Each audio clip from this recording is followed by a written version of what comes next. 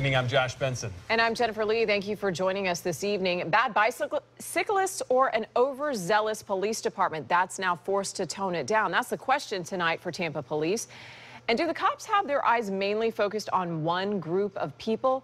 News Channel 8's Paul Mueller joins us now with the new numbers.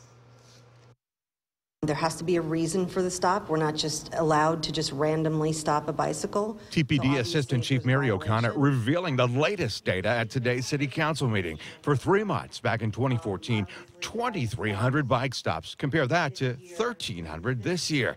When it comes to citations, about 130 in 2014, just 45 this year. And right now, the Department of Justice looking at whether they targeted blacks. Um, what about them saying, like, you're targeting African Americans? Well, uh, what about them saying that we're targeting Af Af African Americans? I mean, I don't think there's one Tampa police officer that would you know, prescribe to that, that we're targeting anybody. O'Connor saying it has to do with the new chief, quality versus quantity, she says, and the focus on hotspots and what she calls officer productivity.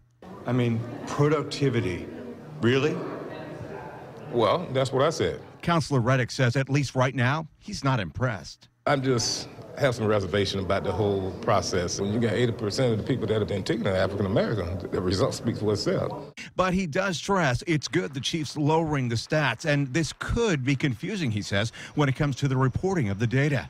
How about the fact that maybe they're just feeling the heat and they had to tone it down a bit? Well, they, they did. Uh, a lot of pressure from the community. As well as from the council. We started to put pressure on, on, on law enforcement, and, and eventually uh, they started to do the right thing. Every stop is based on reasonable suspicion. The assistant chief went on to say they are not changing things, they're shifting their tactics. By the way, Paul tells us to expect that review from the DOJ by the end of the year.